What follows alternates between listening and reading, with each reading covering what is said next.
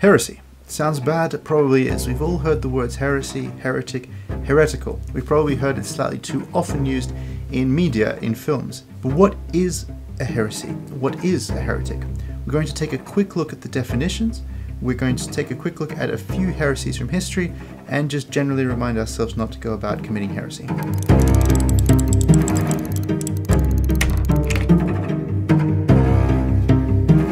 So hopefully what I am able to do here is to tackle your perception of the word heresy as a big scary thing that people are going to kill each other over.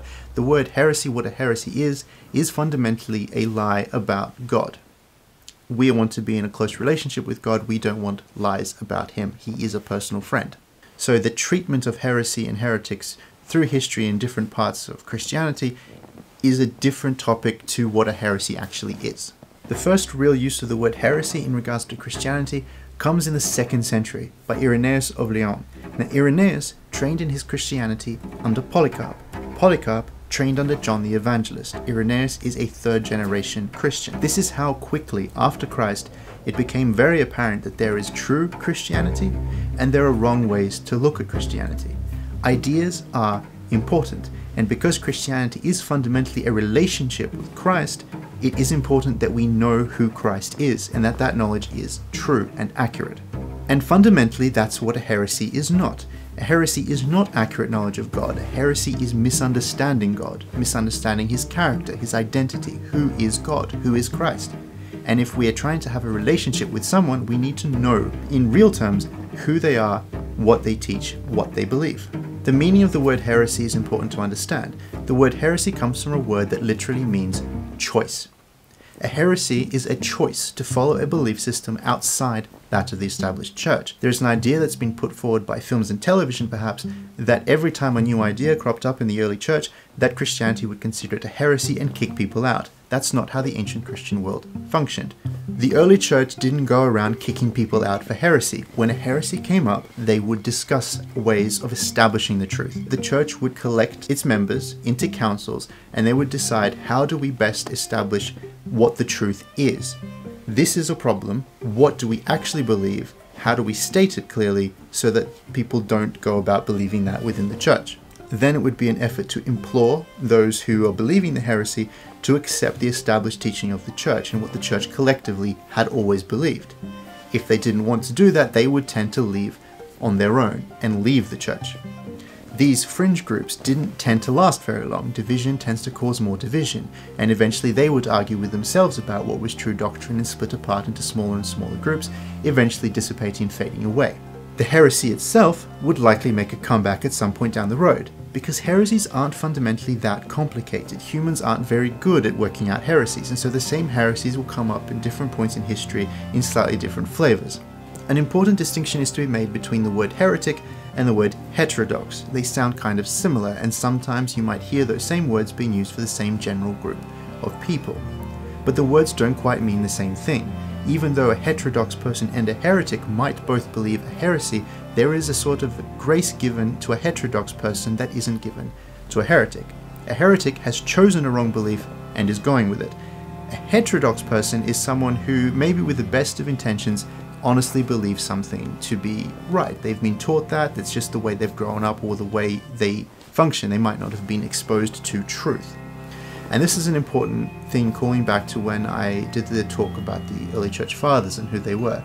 The reason why we have the fathers as a collective and no individual is because any one individual person might have a heterodox idea, something that is slightly off key, something that is slightly wrong. As long as it's not flat out massive heresy, we can understand that that person might be well meaning and have a bit of grace for them. So, to be heterodox is to be incorrect, but it might not necessarily be that person's fault. To be a heretic, you've really chosen something and you're going with it. It is, of course, better to be neither of these things and to be following true doctrine and the true church. In Christian history, the church has dealt with a number of interesting heresies. We're just going to drop in a few examples.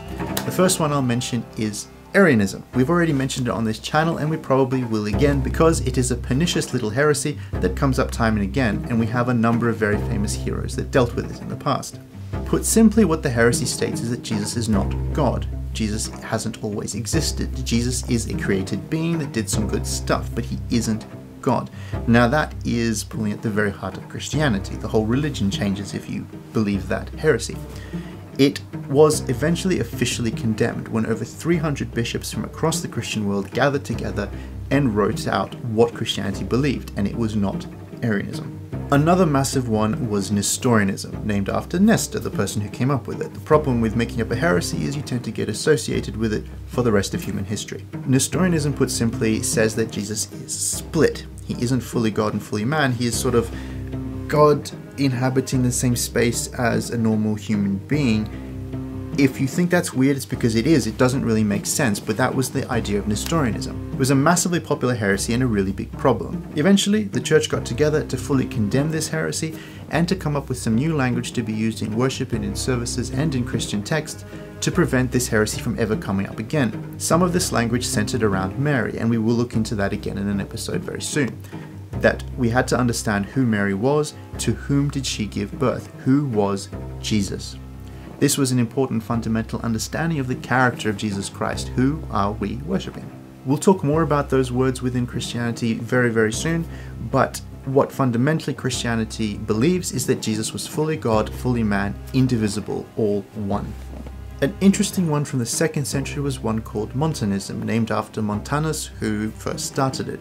This was quite strange and highly bizarre. Montanus actually claimed to be the living embodiment of the Holy Spirit. Their version of Christianity was characterized by some very strange concepts of how the Holy Spirit worked they had highly ecstatic expressions of worship where they felt that the Holy Spirit took control of them and made them say things and talk and speak through them and control them. They also were said to be baptizing people in the name of Jesus and not in the name of the Father, Son, and the Holy Spirit, which was the established teaching of the church from the first century. All of these things combined made a very strange religion. The church quickly stepped on this one and said this is wrong. The Holy Spirit does not take away your free will. He does not control you. He doesn't use you like a puppet on a string that God works with you, we have a choice to follow Christ. He's never going to take away that choice from us. Montanism largely disappeared at the end of the second century, though it did crop up in other places down the road. Another big heresy that came up that we're going to deal with more in a few future episodes very soon is iconoclasm. This lasted for years. Iconoclasm has to do with our understanding of imagery. Because God made man in his image, and then God became man and took on that image, it follows that our understanding of what imagery is is essential to get right.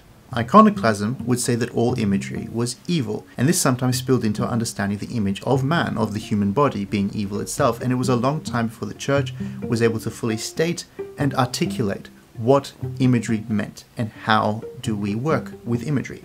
Later pop ups of this heresy in the West, for example, often led to a disdain and a ban on culture, music, art, and self expression itself, as well as a general disdain and disgust for the human body, despite the fact that Jesus Christ was God and had a human body himself. And so, very soon, we'll be talking about what imagery actually meant to the early church, what it means to Christians today.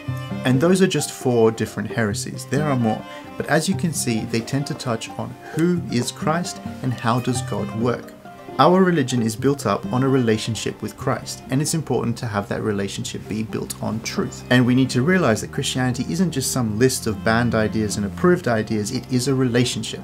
And for the early Christians, it was important to get that relationship right, to be able to keep building that relationship. And I am very grateful for those in the early church that fought heresies and fought to preserve the truth of understanding of who God was, of who Jesus is, and what it means to be Christian.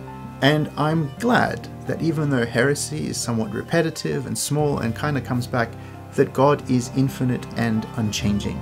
And that we, like these members of the early church that fought for the truth, we can too know the truth and be in that relationship with God. And that's it. Thank you for watching yet another episode. The tea that I'm drinking today is black tea with coconut, turmeric, and vanilla. And it's fairly strange.